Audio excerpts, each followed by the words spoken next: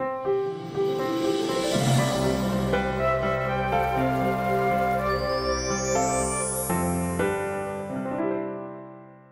大家，我们起来关心今天的天气啊。那么今天我们台湾各地其实都还算是相当的晴朗稳定，只是午后还是有一些局部的短暂阵雨。那么我们从云图上面可以看到，其实目前在我们台湾附近有两个天气系统，一个就是北方一个封面云系，那么这个封面位置是稍微比较偏北一些，只是它尾巴是有点延伸到我们台湾的北部哦。啊，所以呢，在上午的时候呢，还是可能会有一些啊，它的尾巴的云系如果稍微移进来的话，可能云量是稍微有点偏多啊，甚至有些地方是有点飘雨，但是这个雨势都不会太明明显。那么另外的话呢，就是啊，第二十三号台风百里加外是持续往西边移动，对我们台湾是没有直接影响。但是如果是大家要前往海南岛或是雷州半岛这附近的话，要稍微注意一下这个台风未来的发展。那么当然，目前大家最关心的就是第二十二号台风山竹哦，这个山竹台风啊，在过去二十四小时还是不断的在增强当中。目前的中心最大风速啊，已经有高达每秒钟五十五公尺了。那么它的暴风半径也已经扩张到啊两百八十十公里，而且它未来会逐渐的行经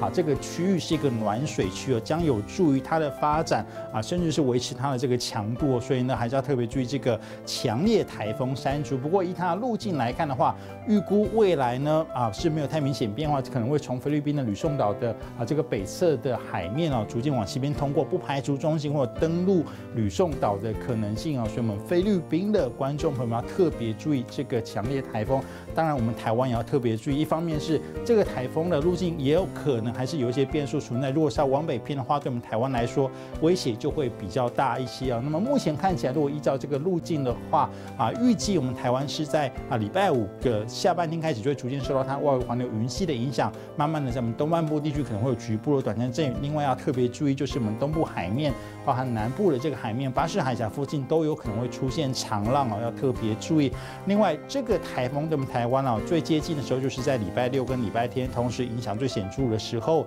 也是在礼拜六跟礼拜天哦，在它逐渐接近的时候，可以看到。它的外围环流虽然说主要环流没有直接影响到我们台湾啊。有可能不会直接影响到，但是它外围环流可以看到，根本的台湾的这个地形呢，会有一些交互作用。迎风面的东半部地区，包含南部的屏东、恒春附近，都有可能会相当会出现相当明显的雨势啊。那么这点，请大家特别注意。那么这个台风的啊，这个目前看起来的话呢，比较好的地方是它移动速度稍微比较快一些。移动速度比较快的话，可能对同一个地方啊，持续影响时间就不会太久啊，有可能啊，这个减少它的这个造成的这个啊。损害的严重的程度。那么另外一方面的话呢，就是这个台风比较单纯，那逐渐通过之后呢，比较没有明显的，目前没有看到明显的西南气流，或者是说跟东北风有一些共伴的作用，目前是没有看到。所以呢，啊，预计这个台风过去之后，可能天气就会逐渐恢复稳定了。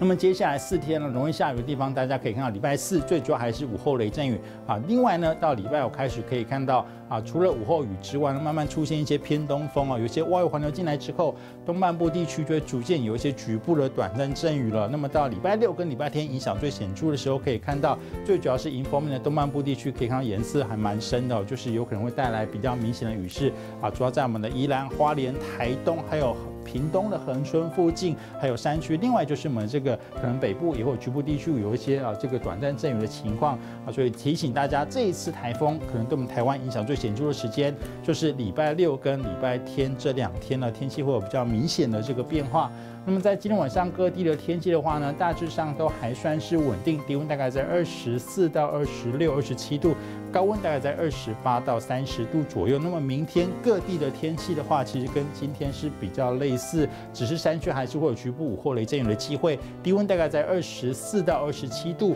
高温可以来到三十一到三十四、三十五度。大台北地区要特别留意。那么另外到礼拜五的时候，随着台风逐渐接近，要特别注意，在我们西半部的背风侧会不。不会有这个气流沉降增温，有点像是焚风的这样的效应，也是后续要特别注意的。那么在礼拜四的白天，还要注意的是空气品质，可能在我们的这个啊，包含啊我们的新竹以南到台南以北，有可能空气品质会到达啊这个对敏感族群不健康的等级。所以最后几个重点提醒大家，礼拜四天气是比较稳定炎热的，但是要特别注意，还是会午后雷阵雨。礼拜五山竹台风的外围环流云气就会逐渐影响了。那么到周末呢？是主要影响最显著的时候，东半部地区还有南部的屏东。附近要特别注意，可能会有比较大雨势的发生。以上就是今天的天气，我们看详细的天气数据。